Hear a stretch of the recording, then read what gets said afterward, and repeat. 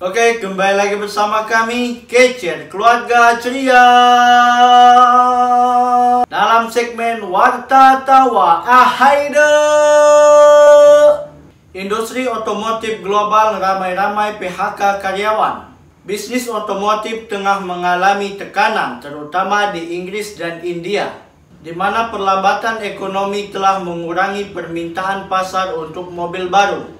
Selain itu, tekanan ini dibarengi dengan peralihan model bisnis dari penjualan bensin dan diesel menjadi penjualan mobil listrik.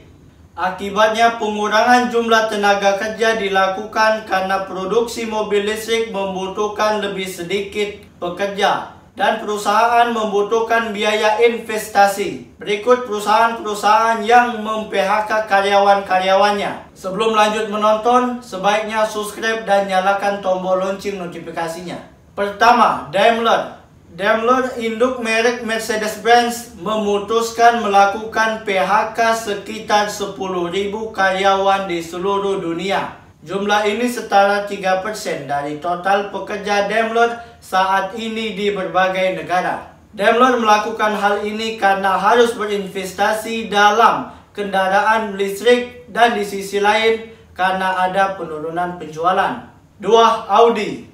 Audi yang dimiliki oleh Volkswagen menyebut akan melakukan PHK terhadap 9.500 karyawan hingga 2025 mendatang.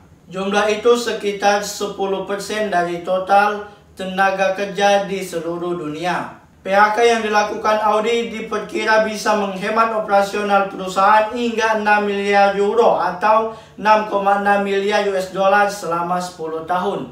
3. Ford Ford Motor CEO dikabarkan bakal melakukan PHK pada 12.000 karyawan dan menutup sejumlah pabriknya. Penyebabnya adalah kerugian akibat melambatnya penjualan. Selain memangkas pekerja, Ford juga memotong 10% gaji karyawan secara global.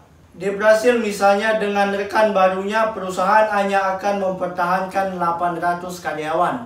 5. Nissan Nissan Motor CEO akan memangkas 12.500 karyawan.